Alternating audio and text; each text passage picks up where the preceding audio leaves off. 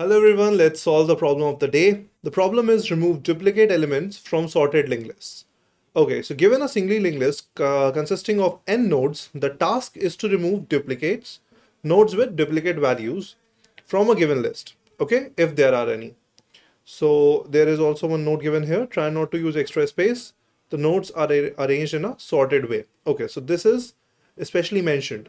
So let's uh, figure out what the problem is trying to say uh, with the help of the examples. All right, so this is the first sample test case. You can see this is your given uh, linked list and what it is asking you to do is it is asking you to remove all the duplicate elements. Fine, so as we can see here, uh, at a high level, these, uh, these values are being repeated, right? And these are unique. So the answer should be something like this.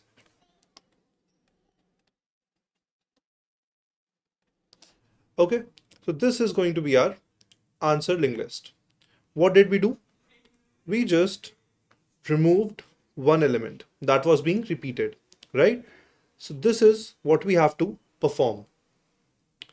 For the next one, as you can see here, all the values are actually getting repeated. So we do not have to keep the repeated values. All the values that are being repeated, we are going to delete them all. And eventually we have to give one value that is not getting repeated. Okay, in this case, this is going to be our answer. Now, one unique thing for about this question that you should keep in mind is that you are already told that the linked list is sorted. All the elements are in sorted manner. So what we can figure out of the point that the linked list is sorted we can say that if the linked list is sorted so that all the elements that are getting repeated should be adjacent, right? Once any value is sorted, just like for the first example, we, we were having 2, 2, 4, 5, right? Assume we have another example, 1, 7, 2, 3, 7, 2, 5, okay? So if our linked list uh, was given in this sequence, then it, it would have been more typical, but the question has made it way easier for us.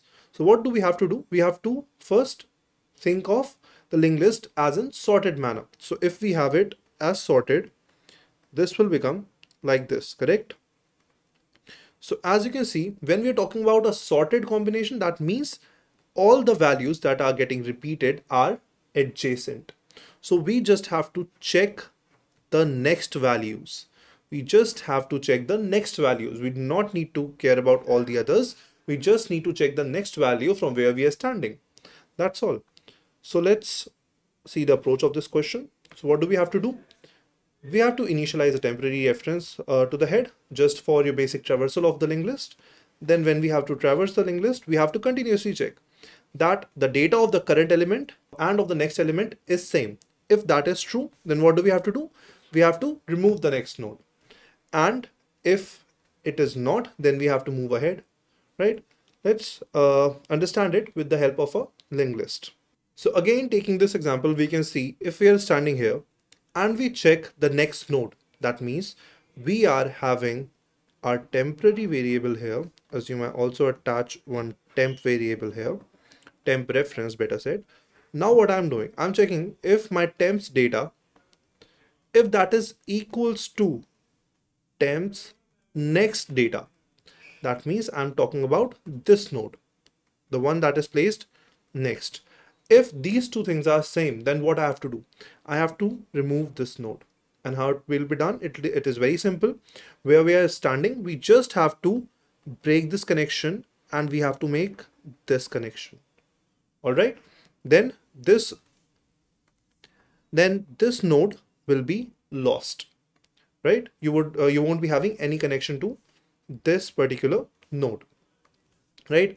So uh, it seems easy. Let's see how it is done. So uh, when you have to code, this is a sample code for it. You are just initializing your uh, temporary reference with the head, then you are traversing it. And inside your traversal, what you have to do, you just have to check the data that you have to the next data. Okay. And if that is so, this line is just removing the node in the middle. That's all. You are making this connection. What you are doing for that? You are sending temps next next, which is temps next next uh, this value to this node. That means temps next. So temps next is this area, this next, it will be now pointing towards this instead of this node. Fine. So once uh, you have reassigned the value, then what you can do, you can keep on moving further for the next uh, repeated elements. And if that is not the case, that means if we are having our normal values that are not getting repeated, then what we'll do, I'm having two here, four here. Then in such cases, I'm just going to move my temp one step ahead. That means I do not have to remove any element, right? So once I'm doing it, it'll be the temp will be shift, uh, shifted here until we are on the last node. So once we have traversed the linked list completely, all the repeated elements will be removed. So let's see how this code is working. Okay, so uh, let's compile and run the code. All right, it is passing the sample case. Let's submit the solution. All right, so it is passing all the test cases. Let's quickly discuss the complexity it might have. Okay, so again coming uh, here, what we are actually doing is we are just traversing the linked list for only one single time, right? Once we are starting from here and we are ending till the end of the linked list, what we are doing, we are traversing it for one time. And assuming that n number of nodes are there in our linked list, our complexity is going to be ON. Okay, that is your linear time complexity. I hope this video helped you. Keep coding.